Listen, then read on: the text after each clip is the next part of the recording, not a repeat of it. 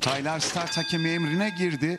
Start verildi ve koşu başladı. Evet 4 boy kadar geç başlayan ekürlerden 9 numaralı Floria oldu. Bariyer dibinde ekürün diğer tayı 4 numaralı Can Ertan.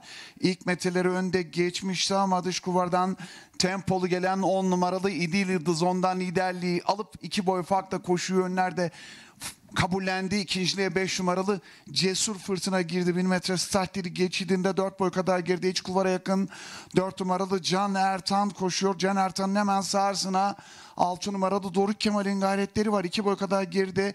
1 numaralı Hilal Zamanı. Hilal Zaman'ın 800 metre startleri geçidinde 2 boy kadar gerisine 2 numaralı Munzur geldi.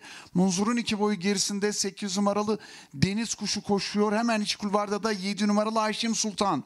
Son 600 metreye 2 2,5 boy farklı 10 numaralı İdil Yıldız önde geldi.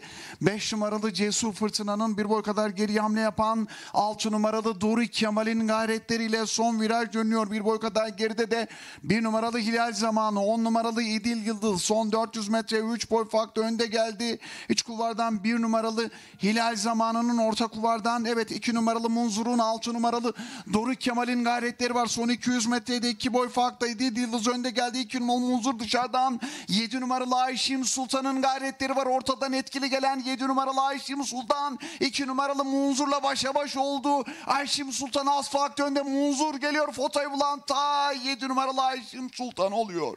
2 numaralı Munzur ikinci, 3 numaralı Bahar Bahir üçüncülüğü hemen yanındaki 10 numaralı İdil Yıldız'la yakın girerek önde geçmeye çalıştı fotoyu. 3 ve dördüncülüğü fotoya bırakalım.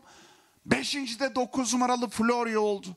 Evet sayın yarışseverler başkentte ilk koşu 7 numaralı Ayşim Sultan Özcan Yıldırım'la kazandı.